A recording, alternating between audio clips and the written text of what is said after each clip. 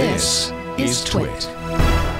Apple has increased the intelligence of their inte- already intelligent. Now it's more intelligent, Leo. Super intelligent. Super intelligent. Well, I wouldn't go that far, Oh, but it's. Uh, I am impressed by how much they're really focusing on this. Uh, how God, how many hours have we spent on this podcast talking about tracking? Uh, this is the Intelligent Tracking Prevention, ITP, which now goes to uh, they're calling it version 2.1. The beta release of 12 of iOS 12.2 and Safari 12.1 on Mac OS, which will be High Sierra and Mojave. Um, they include this updated version of intelligent tracking protection. Um, um, one of these things is so obscure. I thought, okay, wait, I had to read this several times to get a hold of it. So their their stated goal is to further reduce trackers' ability to establish user identities across sites. That's of course what that's what tracking is, right? To to know that somebody who was at Facebook then went to Amazon and then went to you know did something at Google and then went over to uh, Dilly Dilly Wang uh, uh, on micro or you know so Don't forth. Anyway, um, so uh, previous versions of this intelligent tracking protection allowed domains that were classified with tracking capabilities to store what Apple called partitioned cookies. Um, and those were um, cookies keyed off of the top side. I'll explain partitioning in a second. Then they said, as of ITP 2.1, which is the more intelligent tracking protection, partition cookies are no longer supported, and third parties classified with cross site tracking capabilities now have to use the storage access API as opposed to the standard cookie API. So so so here's how Apple explains what they call verified partition cache. They they said WebKit implemented partitioned caches more than 5 years ago. They said a partitioned cache means cache entries for third-party resources are double keyed to their origin and the first party top level domain and then down one. So like apple.com, you know, so .com is the top level, apple.com is one step down. They said this prohibits cross-site trackers from using the cache to track users. Okay, now let me stop for a second. And so so the problem that we have is that that the good news is Apple has been alone has been alone in the industry, and I've saluted them always for by default. And that here again, this is the tyranny of the default. By default, blocking third-party cookies. Um, it, when I did that cookie forensics work years ago, I was compiling cookie um, are, are the, the the visitors to GRC compiling their cookie ha- their browser's cookie handling by browser. And all of the browsers were like up near 100% except Apple alone with a very very low percentage in third party cookies enabled because it was off by default meaning that by default the almost all of the of the Apple visitors or Safari users who visited GRC had third-party cookies disabled. So very nice. However, um, a a by by getting up to various tricks with JavaScript, as we've talked about before, it's possible to circumvent the third-party protection by essentially establishing a first-party presence using JavaScript and iframes and other tricks. So what what partitioning does is very clever.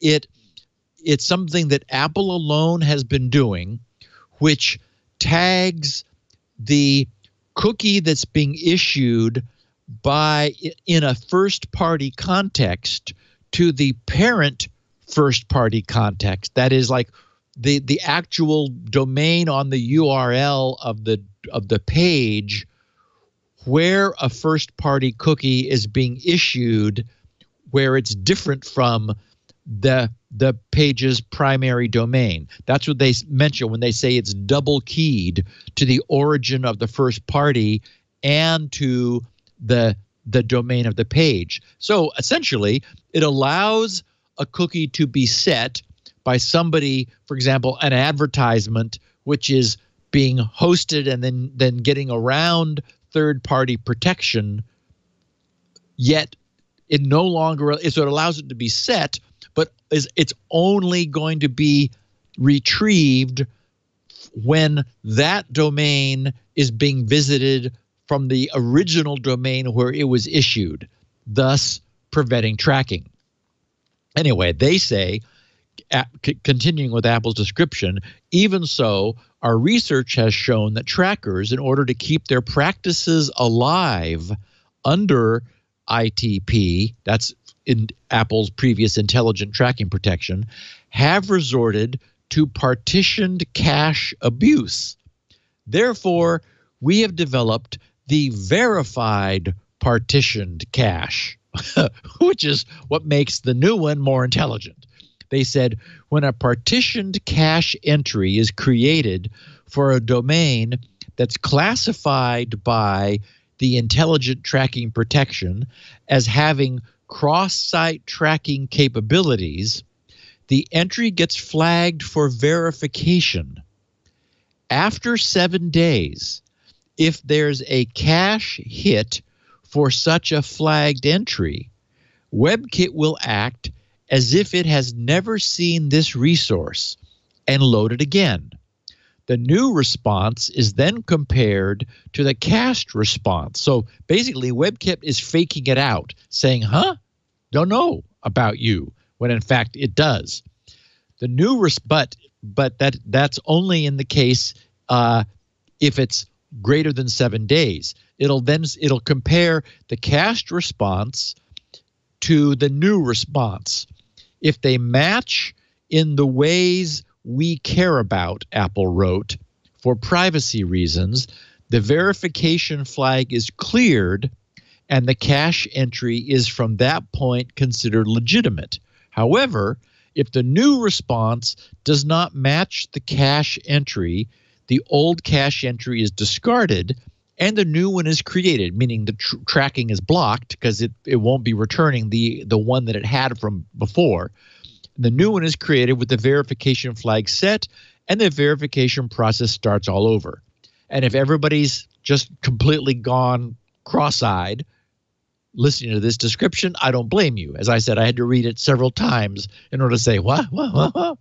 Um, and so this is what this is the the extent to which Apple has engineered tracking protection.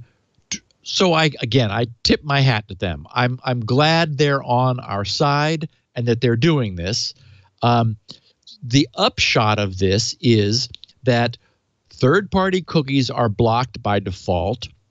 Also, um, the the another thing that they're doing is that session cookies for domains not visited for 30 days are deleted. So you can still have the I want to remain logged in, but but if you don't go back to a to a domain where you said you wanted to be logged in like Google or Apple or Facebook or or you know something you're doing enough if not if you don't go back within 30 days it will prune that. And this is Apple, you know, trying to get control of this massive cookie abuse that I that we talked about with our picture of the week, where there are just so many ridiculously large cookies now that it's hard for for them to be used for the actual valid purpose for which they were intended. And the other subtle thing is cookies can be can be set in two ways nor the normal way of setting a cookie is to receive it in as, as a set cookie header in a response from the web server. That's how it's traditionally been done. And you want those to both be uh, marked as secure, meaning the cookie will can be only be read over HTTPS, and you want it to be also flagged as HTTP only, meaning only with the HTTP protocol, not scripting. The, the reason that's important is that you want to keep the cook, you don't want your scripting on the page to be able to see cookies which may ha- have sensitive content in them. That is, you know, like to allow uh, session hijacking if the cookie's value were readable by script. This, but that's one way of setting the cookie. The other way is there is a dom, a document.cookie property that the document object model that we talked about last week, the DOM maintains. So script is able to set cookies.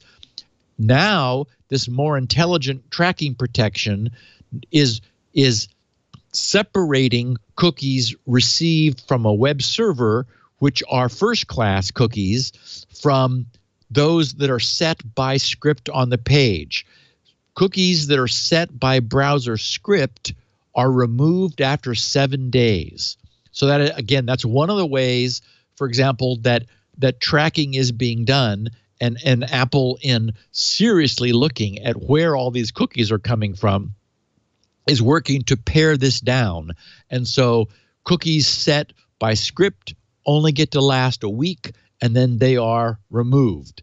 So uh, again, uh, hats off to Apple for continuing to come up with ways. Basically, you know, they're struggling not to break anything that we want to have work while in while deliberately breaking all of the clever workarounds that trackers are are the, the extent to which trackers are going. And think about that. Think about the extent to which tracking is is being like just held onto. Uh, it, it suggests that it is really valuable for for a- advertising services and others to maintain a grip on users and profile where they go. The fact that they're that they're willing to go to such degrees. So again, Apple is alone in the industry. I mean, even in disabling something as simple as delay, dis- disabling third-party cookies by default. There was a point at which IE, I don't remember which IE it was, a, a while ago, Microsoft said, "Yeah, we're going to turn off third-party cookies." There was such an uproar from you know the industry that they ended up never shipping a browser that had third-party cookies disabled, even though Apple al- always has. Safari uh, has that.